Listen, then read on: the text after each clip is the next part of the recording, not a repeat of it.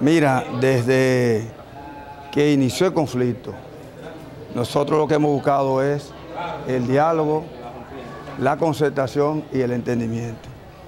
Inclusive servimos un momento de mediador para que las partes sentaran al diálogo, pero que, que el sector que encabeza a Sodemo y el FJD, quien escribe sus documentos, es Rafael Álvarez Castillo, que es quien mantiene esta institución paralizada y que mantiene a 16 mil estudiantes de esta academia sin docencia, porque él se ha empecinado en que perdió las elecciones legítimamente con el voto popular del profesorado y él no acepta ni admite eso.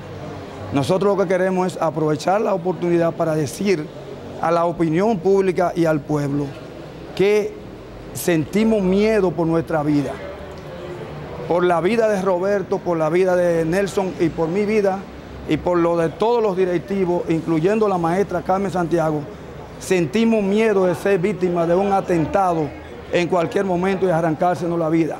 Porque esta gente están diciendo que nos responsabilizan de cualquier acto que pueda ocurrir. Sin embargo, ellos saben quién es que están violentando.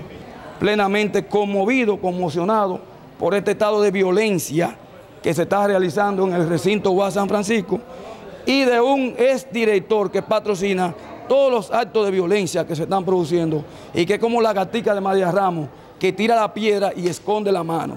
Y así no se puede ser académico. Y mucho menos como lo hizo anoche, diciéndole a la maestra Carmen Santiago que se callara. Y respetaba a la maestra como mujer y después la respetaba como su directora, como la directora de él.